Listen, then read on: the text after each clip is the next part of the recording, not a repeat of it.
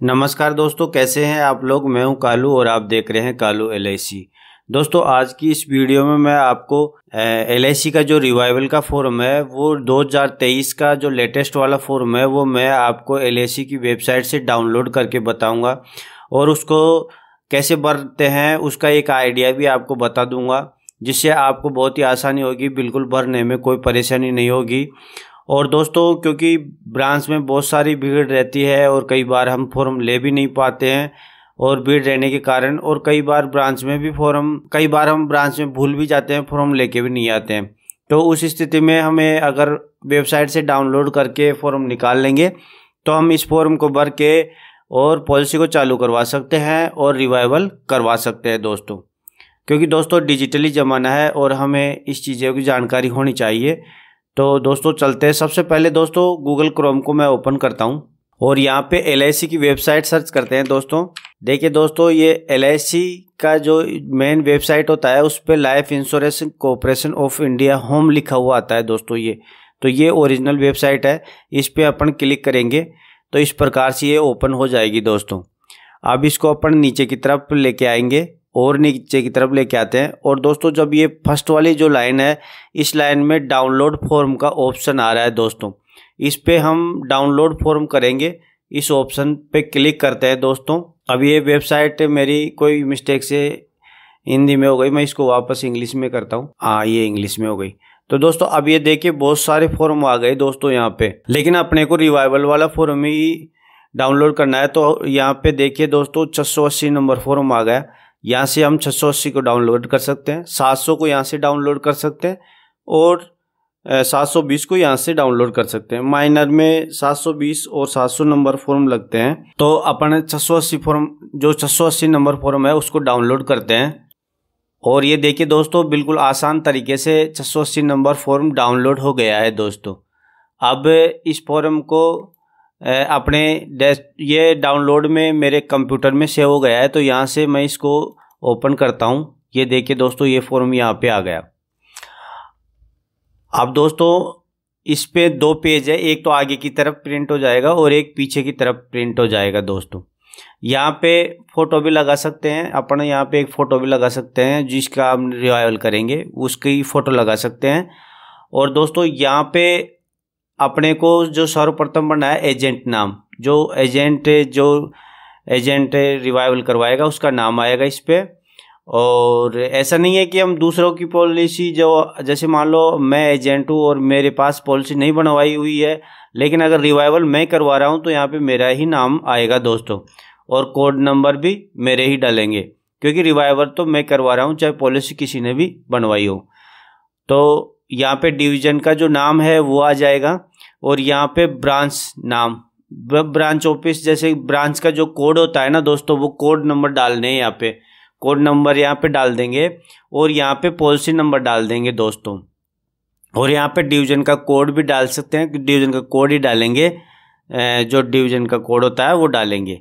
और अगर branch code डालते हैं, डिवीज़न का कोड नहीं भी डालते हैं तो ब्रांच कोड डालते हैं तो भी कोई दिक्कत नहीं है। अब दोस्तों यहाँ पे हो गया फुल नेम फुल नेम यहाँ पे डालना है सर नेम के साथ। जो पॉलिसी में लिखा हुआ है, वो नाम यहाँ पे डालना है। जो जिसका हम रिवाइवल करवा रहे हैं, जिसकी पॉलिसी को, उसका नाम डालना है यहाँ पे। है ना? तो यहाँ पे ऊपर पॉलिसी नंबर डाल दिया था और यहाँ पे नाम आ जाएगा। यहाँ पे जेंडर पे टिक करेंगे तो फीमेल है तो फीमेल पे टिक करेंगे और मेल है तो मेल पे टिक करेंगे। और अदर है तो अदर पे टिक कर देंगे दोस्तों। इससे नीचे आ गया दोस्तों फुल एड्रेस फुल एड्रेस में जैसे मान लो फ़र्स्ट में जो फ़र्स्ट एड्रेस है उसमें डाल देंगे, जैसे गली मोहल्ला है, जो भी है वो डाल देंगे। और, जब विलेज है तो विलेज डाल देंगे और जो मकान नंबर है वो डाल देंगे।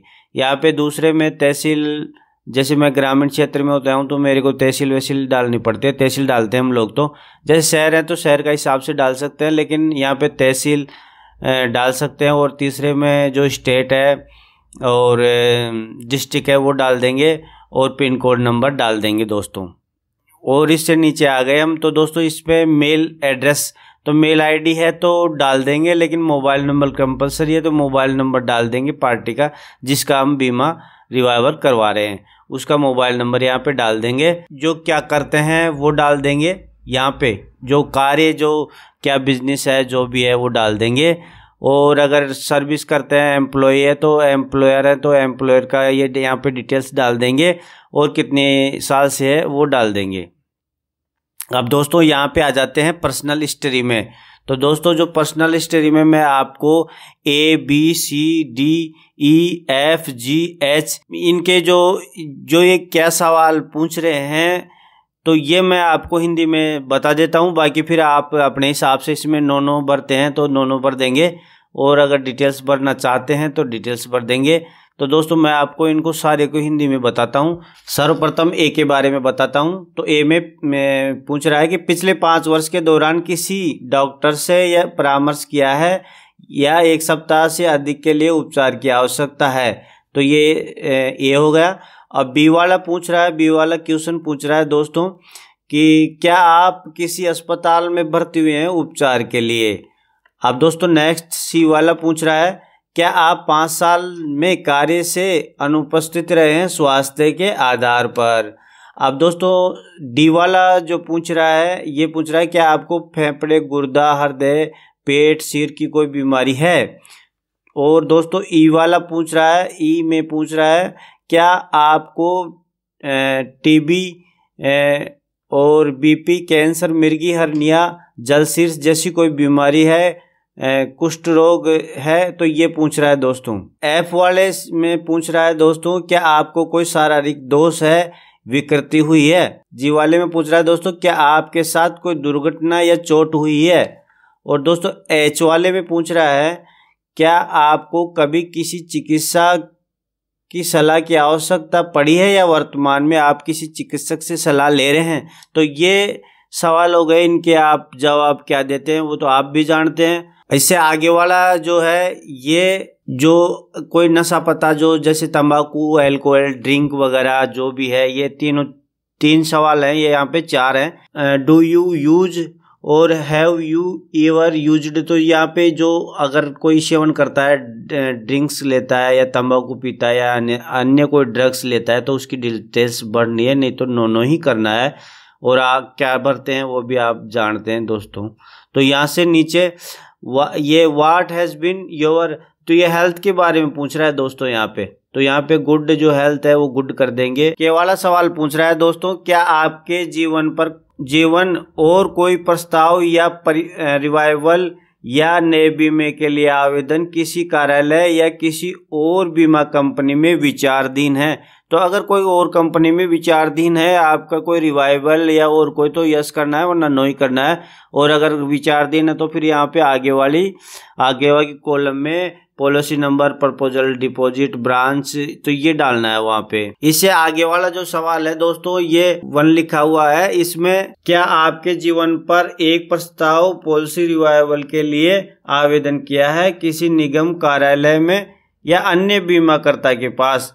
यानी कि किसी और कंपनी में, जैसे इसमें लिखा हुआ है, फिर एक, दो, तीन, चार सवाल हैं इसके नीचे भी अपने को जो नो नो करने हैं। तो यहाँ पे चारों सवाल भी मैं आपको हिंदी में बता देता हूँ।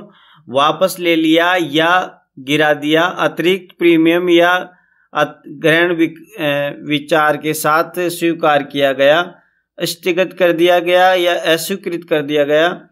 प्रस्तावित शर्तों के अलावा अन्य शर्तों पर स्वीकृत किया गया। ये ऐसे, ये सवाल हैं दोस्तों विदाउट मेडिकल केस में जो ये हाइट वेट बढ़ते हैं दोस्तों तो हाइट वेट के लिए जो हमने पॉलिसी बनाई थी, उस पॉलिसी की टाइम पे जो भी हाइट वेट है वो बढ़ देंगे। और यहाँ पे दोस्तों जो कोई पॉलिसी चल रही है, और भी कोई पॉलिसियाँ चल रही है तो उसकी डिटेल्स यहाँ पे भर सकते हैं।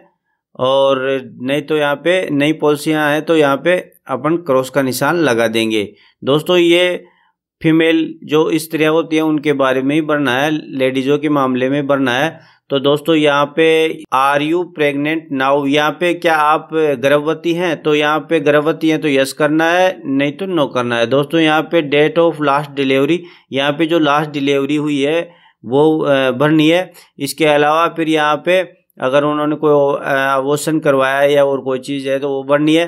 और यहाँ पे नो नो ही करना है दोनों में। तो यार इसके नीचे, दोस्तों, फिर यहाँ पे इसके नीचे, और दोस्तों यहाँ पे नीचे जिसकी हम जिसकी हम पॉलिसी रिवाइवल करवा रहे हैं, उसका नाम भरेंगे दोस्तों। और फिर नीचे आ जाते हैं दोस्तों। यहाँ पे देखिए, यहाँ पे डेट ऑफ़, डेट भरनी है और डेट भरनी है दोस्तों, यहाँ पे डेट ही भरनी है। और यहाँ पे सिग्नेचर विटनेस यानी कि जो एजेंट है, उसके सिग्नेचर होंगे और उन, उनकी सील भी लगेगी। एजेंट की सील भी लगेगी दोस्तों यहाँ पे। और यहाँ पे जिसकी हम पॉलिसी रिवाइवल करवा रहे हैं सिग्नेचर या अंगूठे का निशान लगाएँगे। लेकिन दोस्तों, ये अंगूठे का निशान अगर कोई लगाता है तो फिर नीचे भी ये देखिए, यहाँ पे भी सिग्नेचर करवाने पड़ेंगे किसी अन्य व्यक्ति का। नहीं तो अगर सिग्नेचर करवाते हैं तो फिर नीचे वाले में नीचे वाले में किसी अन्य व्यक्ति के साइन करवाने की आवश्यकता नहीं है दोस्तों। तो दोस्तों, ये दो पेज का फॉर्म था और मैंने ट्रेनिंग पर्पज से मैंने आपको समझाने की कोशिश करी है। और दोस्तों, हमारी लाइफ में, हमारे करियर में ये बहुत ही उपयोगी है। दोस्तों तो कैसी लगी मेरी वीडियो अगर आपको अच्छी लगी हो और आपको पसंद आई हो दोस्तों तो लाइक ज़रूर से करें और सब्सक्राइब भी कर लें। मैं आने वाली वीडियो में आपके लिए यूज़फुल वीडियो जो आपके लिए काम की उपयोगी वीडियो होती है, वो मैं बनाता रहता हूँ दोस्तों। तो दोस्तों, मिलते हैं नेक्स्ट वीडियो में।